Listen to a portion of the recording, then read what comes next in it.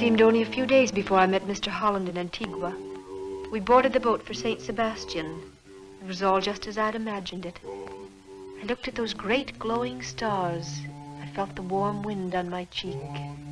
I breathed deep, and every bit of me inside myself said, How beautiful. It's not beautiful.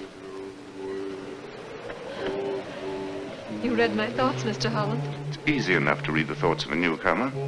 Everything seems beautiful because you don't understand. Those flying fish, they're not leaping for joy. They're jumping in terror. Bigger fish want to eat them. That luminous water, it takes its gleam from millions of tiny dead bodies. The glitter of putrescence. There's no beauty here, only death and decay. You can't really believe that. Everything good dies here, even the stars.